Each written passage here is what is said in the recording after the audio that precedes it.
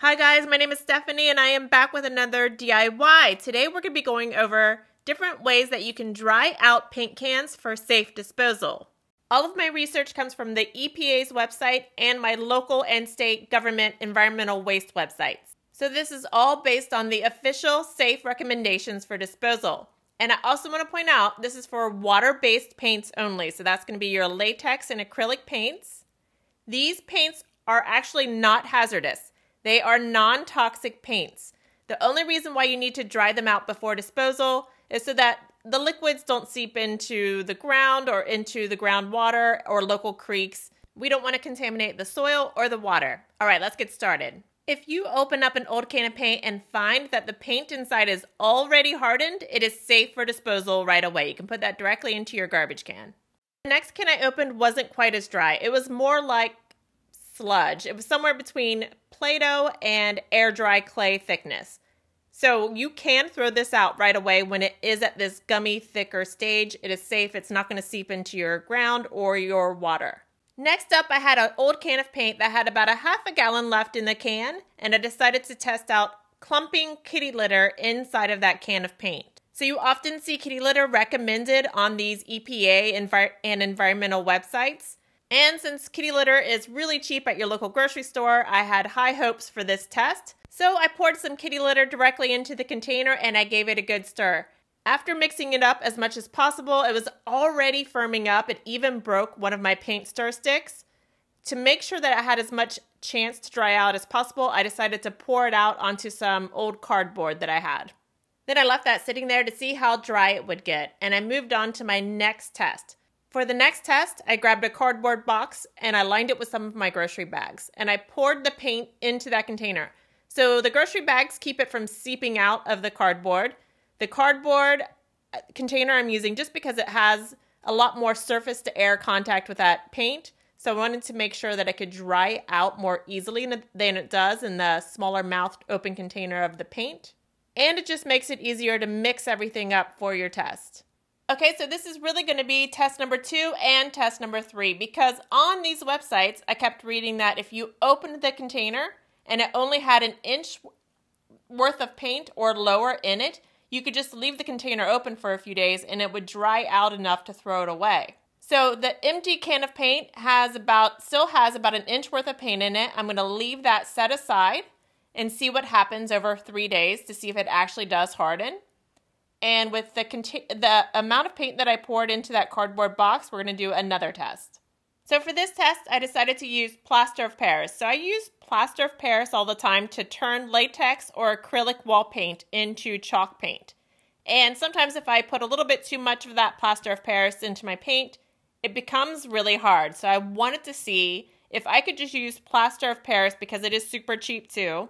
If I could use plaster of Paris to turn my latex, to dry out my latex and acrylic wall paint when I need to throw it away. So I poured a bunch of plaster of Paris in and started mixing. It wasn't getting very thick right away. I poured some more plaster of Paris in and decided after about a cup's worth of plaster of Paris to set it aside and to see what would happen over the course of three days to see if it would actually dry out. So for the next test, I grabbed another cardboard box and some more grocery store bags and set it up to pour paint inside just like I did with the last one. But for this test, I'm going to try out sawdust. So I so a lot of people recommend using sawdust to dry out paint so that it, it would harden enough to throw it away. And I have tons of sawdust hanging from my table saw right now. I do tons of woodworking projects around here. I always have a, a ton of sawdust hanging from my table saw.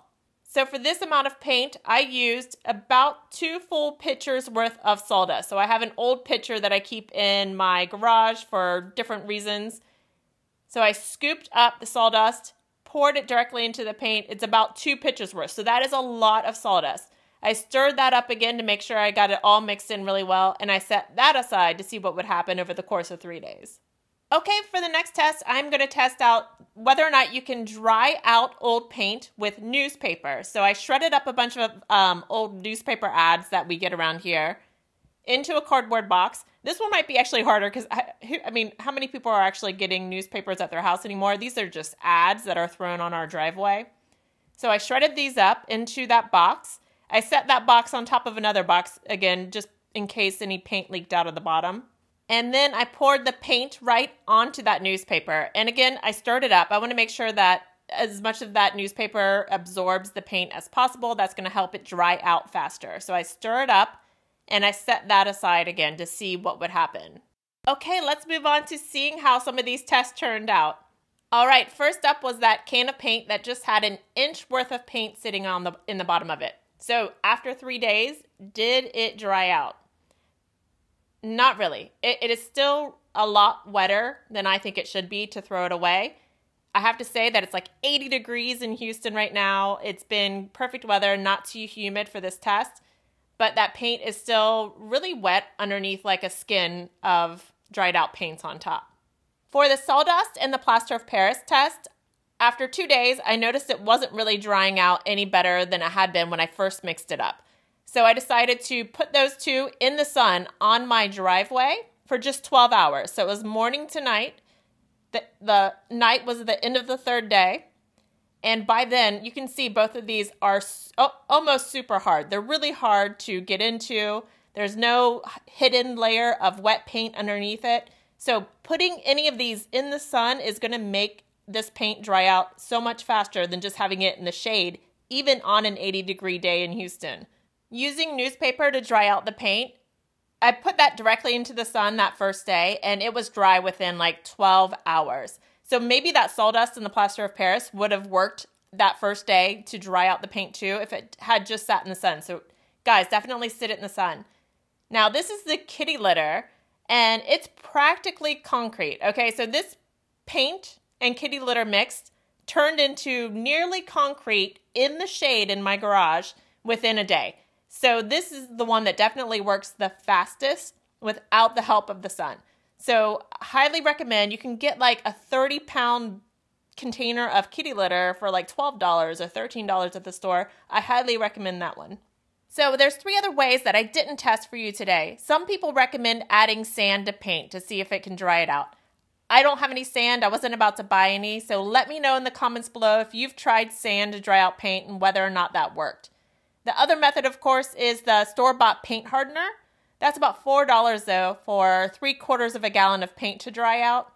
And it, for this much paint, it can get pretty expensive. So I wanted to test out some cheaper DIY methods. And the third option people kept re- recommending was to get a huge cardboard box, line that with a trash bag, and then just slowly pour the paint in, let it dry out, add a little bit more paint, let that dry out, just so you're making thin layers of paint and letting it dry out.